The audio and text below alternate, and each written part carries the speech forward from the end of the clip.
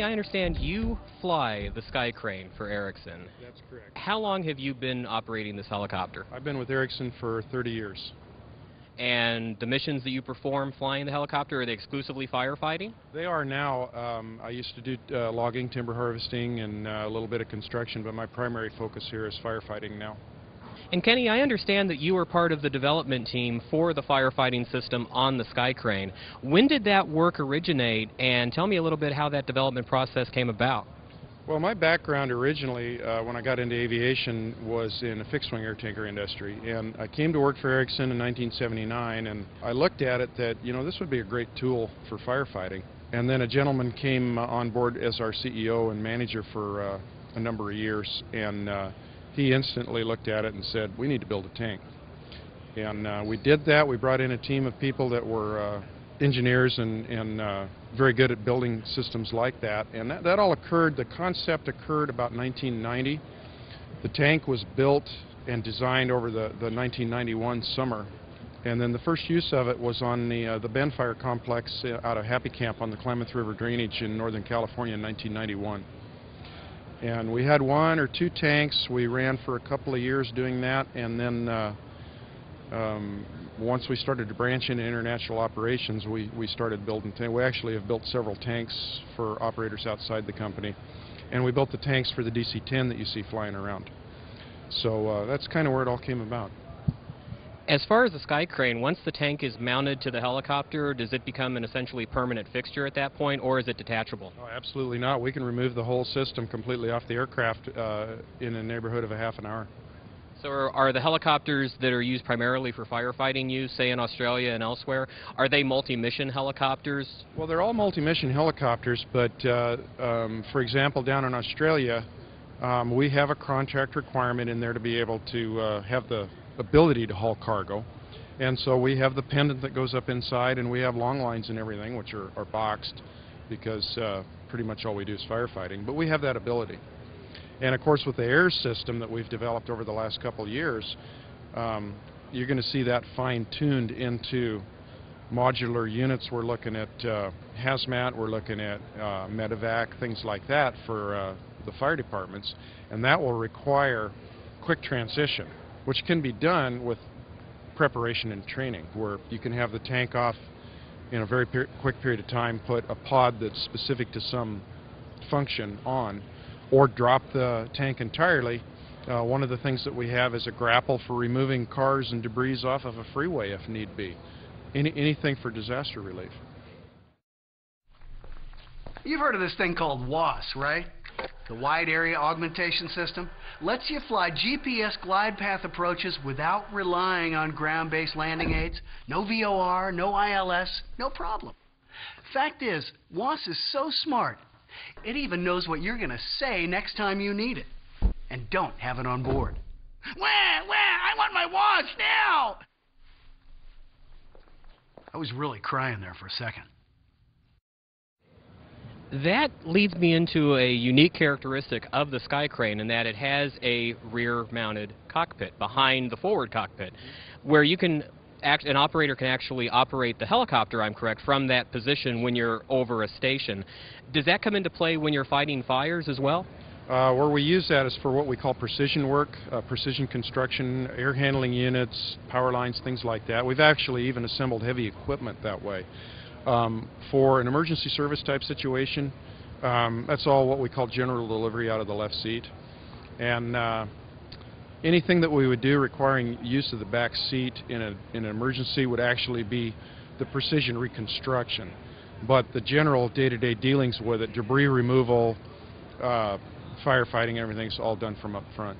But the aircraft is definitely multi-mission and has those capabilities. And you recently were uh, active in fighting the fires in Australia. Uh, if you would tell me a little bit about a mission like that. When you get the call what what is the process from the time? Well, first off, who calls you when a fire like that happens? Well, all of our fire contracts were under contract to a government agency, and uh, they have a dispatch coordination center, and so that data is forwarded to us once they make the request. Um, they usually give us a uh, a lat-long for the fire. Almost uh, every country does that, and then various con contact information, whether or not there are other aircraft or any special requests they might have, and then we go out and fire up and go. There's usually uh, about a 15-minute response time requirement, so we do quite a bit of uh, extensive pre-flight in the morning systems checks, and then we're uh, usually ready to go. So uh, we can usually get airborne, in, uh, if, if you're ready, in almost 8 to 10 minutes. Now, given the intensity of the fires in Australia recently, where was your base of operations and how far inland did you have to go from the base as far as the, the turnaround time, essentially? Um, interestingly, because the, the aircraft that I'm based on this year is actually in South Australia near Adelaide, so they ordered us over as a uh, an additional aircraft. And our base of operations in uh, Vic state of Victoria is uh, Essendon Airport, which is a satellite airport just north of town. Um, usually came back there every night, but they would move the aircraft around as needed. Sometimes we would be down at Latrobe Valley, sometimes we'd be up at uh, Delatite, but most of the time we'd be back at Melbourne at night. And then we would work out of uh, what they call a sports oval, a cricket pitch, near the areas that they needed to work at the time. The fire front, like, like Mark said earlier, is uh, it was six kilometers out ahead. You couldn't even get near it. So you, that relegates you to uh, the flanks, and uh, again, it, it's a function of, of uh, life saving at that point. Helicopter started to bomb and uh, they sort of tidied up along the edge of the fire trail. Very professional. Firefighting certainly changed uh, over the years.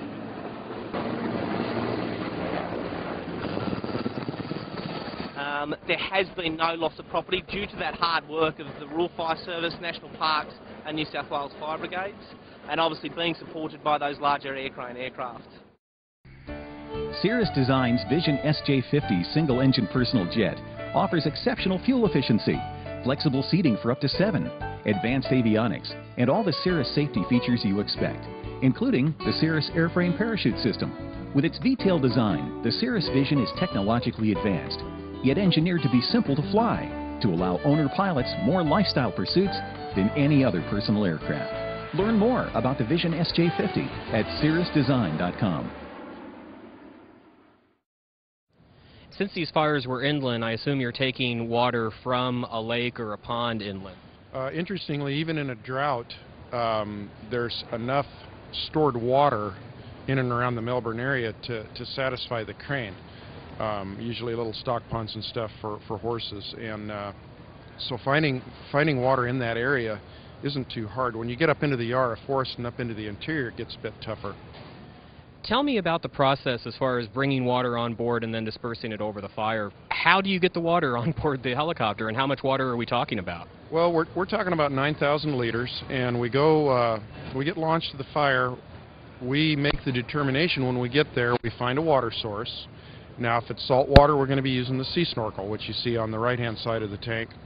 And that, that lowers and retracts for each pickup, and that allows us to scoop the water in forward flight and stay out of the salt spray. If we have fresh water, then we go to the pond snorkel, which is stowed on the left-hand side, and it remains down until we come back and land. Freshwater fill-up is about 40 seconds with the pond snorkel and about 25 seconds with the sea snorkel. Well, Kenny, I must say, you're doing yeoman's work and a wonderful job and literally saving lives with the Sky Crane. Well, what I like to think we're doing is helping the people that save lives. The men and women on the ground over there, the uh, men and women on the ground here, the people with the trucks, the people that are doing the hard work, we're there to help them. And uh, I've got the greatest job in the world, and I just hope it makes their job better. Well, sir, I thank you for your efforts, and I'm sure there are many, many others who would share that sentiment.